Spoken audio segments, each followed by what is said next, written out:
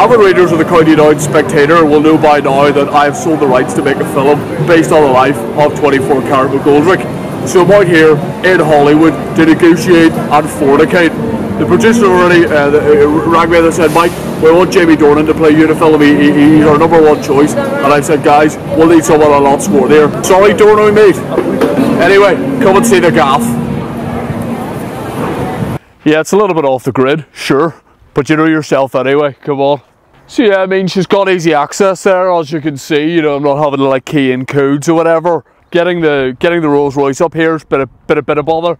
But uh, other than that, you know, it's in a great location, convenient to shops, bars and restaurants, you know, as soon as I, uh, you know, roll down this mountain face. If you get down there injury free, you're going to have an absolute rager out on the town. So, you know, it just makes sense for me at the minute. And a lot of people say, Mike, you're not doing well, you're having a bit of a breakdown, and you're out here, you spend all your money on this film project. And I go, take yourself off, mate. if there's one thing Mike McGoldrick knows, it's Hollywood.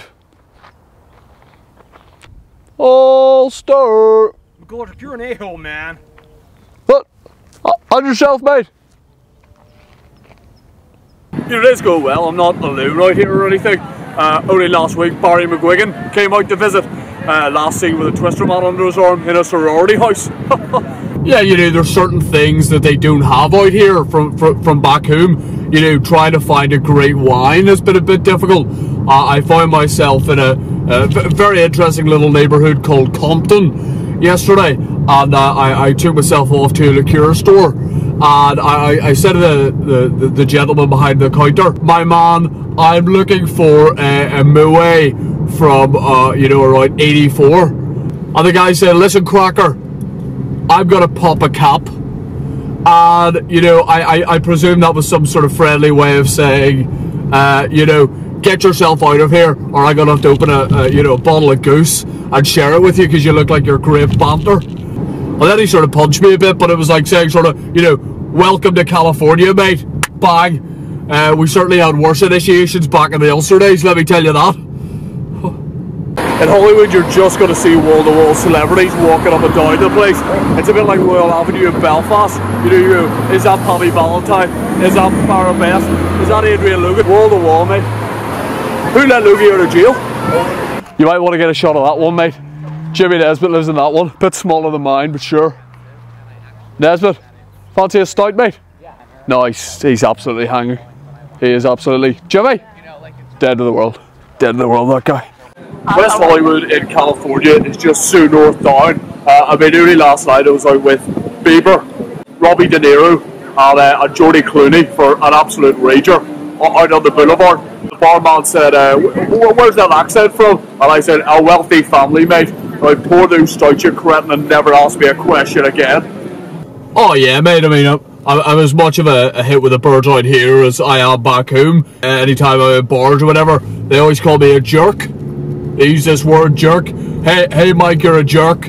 Uh, and that's great, Seeds. Leave me and my friends alone, you absolute jerk. And I'm like, guys, just enjoy the banter. No need to get that bouncer involved. I mean, I guess the word jerk comes from like jerk chicken, which is, you know, quite good for protein. They're looking at me, they're going, that's a guy who gets a lot of protein. That guy right there is more juice than a Nutri-Bullet. Onward to the Stevie Ferris wheel. McElroy's coming over next week, no doubt he'll be he'll be buying Goose LR&C, left, right and centre. Uh, made him out on the town, probably do more for the local economy here than the Oscars, for God's sake. and, the, and the winner for Best Banter is McGoldrick. Sure, sure, sure, sure. Th thanks to the Academy. Thanks. Thanks.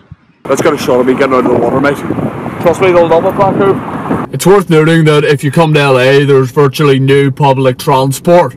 You've basically got to drive everywhere, or get an Uber if you're poor.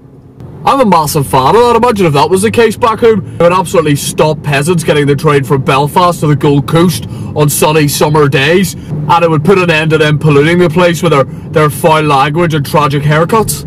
Note to self, when I get home, buy TransLink and dismantle it. How much would that cost? About 400 quid should do it. Although, well, it'd probably be more than that, but I could like throw in like a, a side photo of myself or something. Last one is from Carrickfergus.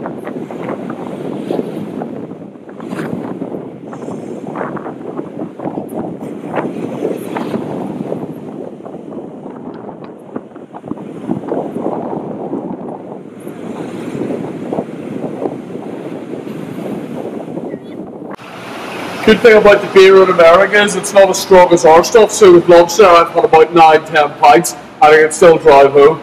Oh, wrong side, I forgot to drive another side. Actually, that's not even my car. Oh, oh, a bit sicky. Yeah, I, I've thought about forming a rugby team out here because just nobody plays rugby. They're all into uh, American football, uh, the NBL, whatever it is. That's just not a sport. They're all padded up and they wear helmets. You know, we rugby players are like gladiators, fully nude. Well, not nude, but may as well be. You could bet your doll that McGoldrick would never wear a helmet to play sport. You'd be able to see McQuiff. The spectators would be raging. So that's it, mate. All the best, and uh, just nothing to do back home. Things go pretty well for me. Come back, mate. Do you have any money, mate? I, I haven't eaten like three weeks. Huh. Mate.